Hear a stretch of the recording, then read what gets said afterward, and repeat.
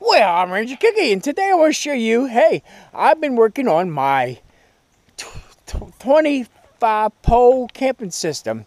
It's not complete. I was going to build a porch, but out here it's been very hot at the Mississippi POQ camp.